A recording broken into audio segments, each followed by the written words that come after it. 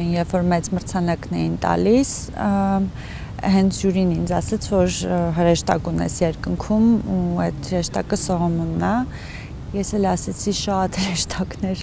ունենք մենք։ Ամստերդամում վավերագրական կինոյի աշխարհի ամենահեղինակավոր կինոփառատոնում IDFA-ում Շողակաթ Վարդանյանի դեբյուտային 1489 ֆիլմը միանգամից երկու լավագույն ֆիլմ եւ Ֆիպրեսկի մրցանակները ստացավ։ 1489 44 օրյա պատերազմում զոհված կրտսեր եղբոր Սողոմոնի մասունքներին տրված համարն է։ Հա, parza որ Սողոմոնը իմ ծնողներիս, իր անկերների, մեր բոլորիս համար շարունակում եմ մնալ Սողոմոն ու շարունակում եմ մնալ երաժիշտ, որ լիքը լիքը լավ բաներ կաներ, բայց իրականության մեջ այն իրականության մեջ որ տեղ ունեցավ այս 3 տարում, առանց ինքնախապեյության, հենց այդ թիվն է, էլի որ մնաց։ Սողոմոնն անհետ կորել էր 2020 թվականի հոկտեմբերին։ Նրա մասունքների փնտրտուքը ամիսներ է տևել։ Եվս 1.5 տարի էլ ընտանիքը ստիպված էր սпасել ԴՆԹ պատասխանին։ I was shooting because I couldn't do anything else։ Տեսեք ոնց որ երաժշտությունը բարերը կորած լինեին ես երբեմն նաև գրում էի իմ համար երբեք չեմ հրապարակել բայց կորել էին բառերներ էին կորել բայց շատ արտահայտվելու կարիք ունեի ու համընկավ իրար այդ պատահականություն նկարելու իսկ որ ֆիլմը դառնալու վերջում որ ժամանակ հետո հասկացա այսինքն երբ որ ժամանակը շատ ձգվեց արդեն ու սողոմոնը չվերադարձավ չնայած մինչև վերջել դեռ մինչև անցած տարի էլ ու դեռ գուցե մինչև հիմա էլ երբեմն այդ միտքը գալիս է որ վայ բայց կարողա ինչ որ տեղից հայտնվի ինձ թվում է այդ շատ ընտանիքների մոտ է տենց լինում։ Ճնճղոկա չէ։ Բանա, տղա է էլի։ Ինձ իմացար տղա է։ Շատ էլ մեջ չի, հա։ Ինձ իմացար տղա է։ Էլի տղան կա արիցնումի է լինում։ Այդ իմ ներքին զգացումը, որ ֆիլմը դեռ ավարտին հասցված չի, ավարտվեց անցած տարի, այսինքն որ դեռ նկարելու բանն եմ ավարտվեց անցած տարի, երբ որ ֆիլմի վերջի տեսանները նկարեցի, երբ որ նկարեցի, այդ նոր մտքովս անցա, որ դա կարող է նաև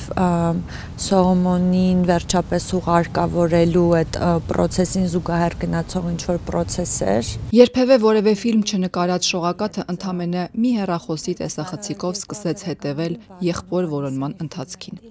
Փաստագրել ընտանիքի տառապանքը սկսեց իրենից խուզեց գեղեցիկ խոպոպները, ասում է արվեստ մի փնտրեք այստեղ։ Ամբողջ ապրումներից մազարմատներս նենց էին ցավում, քիչ որ մազերս պոկ էի, դենց որոշեցի գնալ ու ուղղակի խուզել որ բռնեմ այդ դարտից։ Հոր շփումը տանը մոլորված ճնճուղուկի հետ, անքուն գիշերներ։ Սրանք մի քանի ժլատ կադրեր են, Ֆիլմը դեռ փակ է, շատ բաներ պատմել չի կարող, փառատոններով պիտի շրջի։ Այնքան ծանր էր պատմությունը ինքնին, որ իրանք արդեն ուշադրություն չէին դարձնում դրան։ Իրականում ես էի ավելի շատ ինձ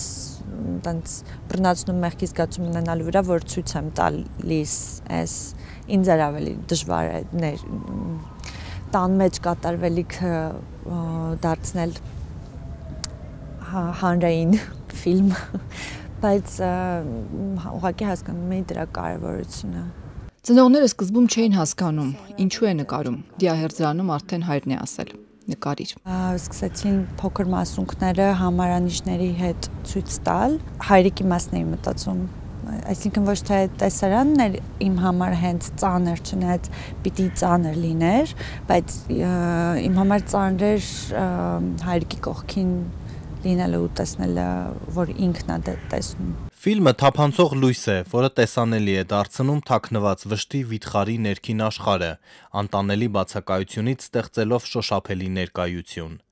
Կինոն որպես գոյատևման գործիք թույլ է տալիս տեսնել այն, ինչը մենք նախընտրում ենք չտեսնել։ Այսպիսի գնահատական էր տվել ժյուրին Արցախյան 44-օրյա պատերազմի մասին պատմող ֆիլմին գլխավոր մրցանակը շնորհելիս։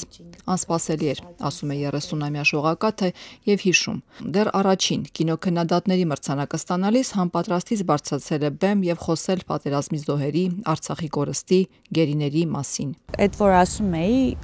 հանգուր հանգուր բեմի վրա սկսել եմ լացել ու տենց մի 40 րոպե չէի կարողանում դադարեցնել լացս։ Լրիվ այդ ապրումները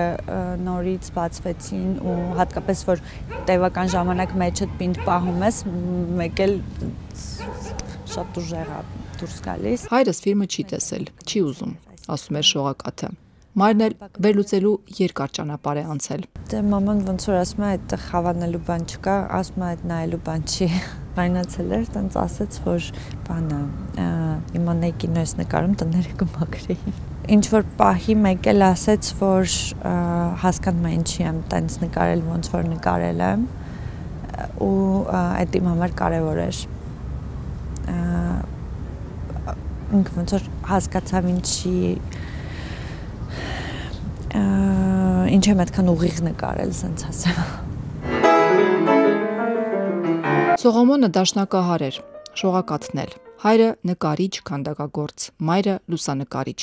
Արվեստագետների ընտանիքում նորահայտ ռեժիսորի հաջողված ֆիլմը սակայն որպես արվեստի գործ չեն ընկալում։ Ընտանիքի, ժողովրդի, մի ամբողջ երկրի դժբախտության մասին է։ Իսկ Սողոմոնի մասին, ասում է ավակ քույրը, պատմել պետք չէ, միայն լսել։